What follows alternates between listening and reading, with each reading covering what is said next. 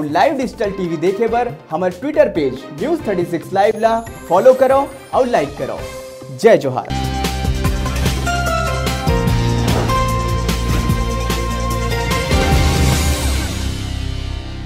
छत्तीसगढ़ सरकार के जो बजट सत्र है, वो अभी आने वाला है, बजट आने वाला है छत्तीसगढ़ सरकार के। और लोगन मन में कई तरह के बात सामने आते कई तरह के उखर मन में चलत है कि कुछ न कुछ नवा अब ये बजट में अवैया है। सब लोगन हाँ मानत है कि बहुत अच्छा होही छत्तीसगढ़ के ये बजट है। तो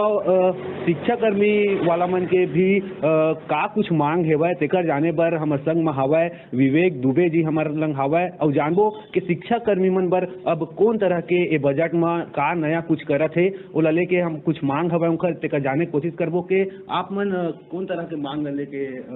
बजट में देखा था देखा, हमन बहुत बेरा ले ए बजट के अगोरा करत रहन। काहे कि मुख्यमंत्री जी पिछर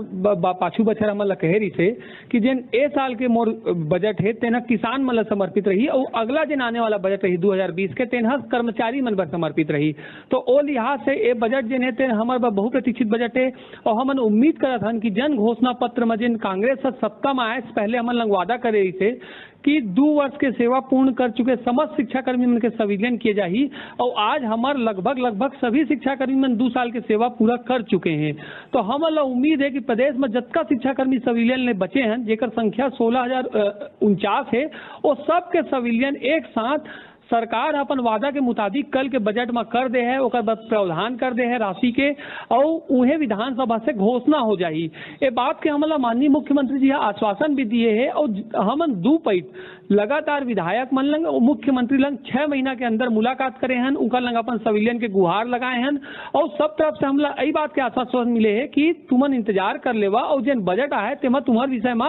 ज़रूर घोषणा हो है। तो हमन ला सरकार ऊपर पूरा विश्वास है और हमन कल के बजट के बहुत बेसब्री से इंतज़ार करत हन कि कल जन बजट प्रस्तुत हो है, तेमा हमन के सविलियन की घोषणा हो है। का लगत है? आप मन के उम्मीद में छत्तीसगढ़ सरकार कौन तरह से खरा उतरही का लगत है देखा, हमला तो पूरा विश्वास है काहे कि जतका हमन मेहनत करे ना, जेन हिसाब से हमन ला लगातार रिस्पांस मिली से, मंत्री मन के भी, और ओकर अलावा विधायक मन के भी, और स्वयं माननीय मुख्यमंत्री जी के भी। तेकर हिसाब से हमला उम्मीद है कि ए बजट जन रही, तेना कर्मचारी मन पर ज़रूर खुशहाली लाने वाला बजट रही, और जब भी कर्मचारी के बात हुई तो आपो मन देखे हुआ कि लगातार शिक्षा कर्मी लोकतांत्रिक तरीका से अपन मांग ला लेके मुखर रही, संविलियन अधिकार मंच है विगत छह महीना से लगातार जेन जेन कर सकत रही से, चाहे वो सोशल मीडिया के माध्यम हो या प्रत्यक्ष रूप से मंत्री विधायक मन लंग गुहार लगाए के बात हो, सब काम ला करी से, और बिना स्कूल ला बाधित करे हमन अपन मांग ला लगातार रखे हैं तो हमका उम्मीद है कि जेन हिसाब से हमारे प्रयास रही से, जतका ईमानदारी से उतके ईमानदारी से सरकार भी ये विषय में फैसला ली,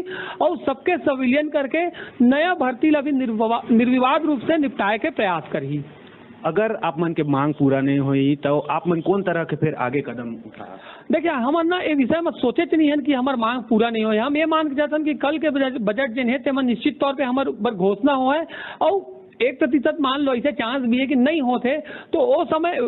हमन एक विषय में बैठ के फिर से निर्णय लेबो कि हमला आगे करना का है। लेकिन हमार गुजारिश है सरकार से कि ऐसे कोई नौबत मत आए, और जेन बात के स्वयं सरकार है, सत्ता में आए से पहले हमला वादा करे से वो वादा ला पूरा करे, और भविष्य ला शिक्षक मन के खुशहाल बनाए का है कि अभी जिन व्यवस्था चलत है, वह पंचायत विभाग, स्कूल शिक्षा विभाग, विद्या मितान ये सब प्रकार के अस्थायी व्यवस्था चलत है। वहाँ प्रदेश के शिक्षा व्यवस्था ला भी प्रभावित करते और जिन कर्मचारी है ओकरो जीवन प्रभावित करते। दो तीन तीन महीना ले हमारा वेतन नहीं मिला है। हमारे पर कोई स्थानांतरण नीति नहीं है। हमारा तीन साल ले महँगाई, भत्ता नहीं मिले है। हमारे जिन महिला साथी है तो मतलब मातृत्व अवकाश के लाभ नहीं मिल सके ये तमाम सुविधा जिन है तो शासकीय कर्मचारी ला मिलते और हमन वही शासकीय स्कूल में सेवा देते हैं लेकिन हमन ला ये सब लाभ मिले नहीं। तो मैं समझा तो ये बात ला बहुत अच्छे तरीके से कि मुख्यमंत्री जिन जिन वादा करे रही और अभी कुछ दिन पहले जिन हमन ला खुद मतलब भरोसा दिलाई से तो वादा लो ज़रूर पूरा करी। और कोई प्रकार के नकारात्मकता हमारे मन में नहीं है। हमन ये मान के चला था कि निश्चित तौर पर कल आने वाला बजट में हमारे पर घोषणा होगी तवेरी से, विवेक दुबे जी, जो न बताई से, कि जो संविलियन के मांग है और कई तरह के मांग हवय जो लेके छत्तीसगढ़ सरकार अपन बजट में लाही पेश करी बजट में, ये सब बात ला बताइन है। और लोगन मन में कई तरह के बजट ला लेके चर्चा तो हवय चे। और अब देखे वाला बात हुई कि आखिर कौन तरह के बजट आथे और छत्तीसगढ़ विकास बर कौन तरह के आउ भूपेश सरकार अपन बजट में शामिल करही कैमरा पर्सन रत्नेश के साथ, मैं नीरज देवांगन, बिलासपुर ले, न्यूज़ थर्टी सिक्स बर